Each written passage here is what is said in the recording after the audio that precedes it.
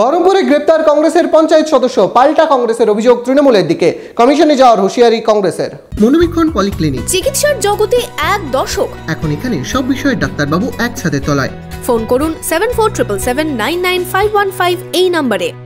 ভোটের আগে বহরমপুরে গ্রেপ্তার কংগ্রেসের পঞ্চায়েত সদস্য। কংগ্রেসের অভিযোগ, চক্রান্ত করে ভোটের আগে গ্রেপ্তার করা হয়েছে কংগ্রেসের পঞ্চায়েত সদস্যকে। পুলিশ সূত্রে জানা গিয়েছে, মঙ্গলবার চুয়াপুরে একটি মারধরের ঘটনায় গ্রেপ্তার করা হয় ভাকুড়ি এক নম্বর পঞ্চায়েতের কংগ্রেসের পঞ্চায়েত সদস্য বাচ্চু মণ্ডলকে। যদিও বাচ্চু মণ্ডলের অভিযোগ, তার সোনার চেন ছিনিয়ে নেওয়া হয়েছে। তিনি অভিযোগ করলেও পুলিশ তাকেই গ্রেপ্তার করেছে।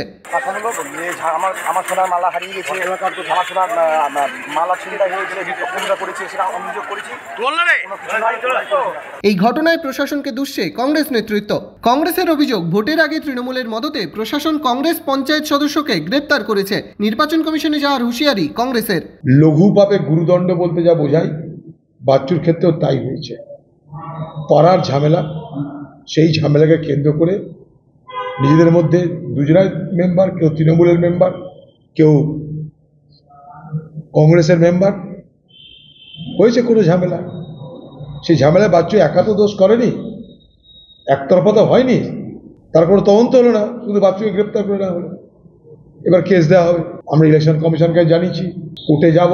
যদিও কংগ্রেসের অভিযোগ মানতে নারাজ তৃণমূল নেতৃত্ব। বহরমপুরে একই ঘটনা ঘটেছে। আমাদের নেতা মারা যেতে পারত অল্পের জোরে রক্ষা পেয়েছে হসপিটালে ভর্তি হয়েছে অনেকে।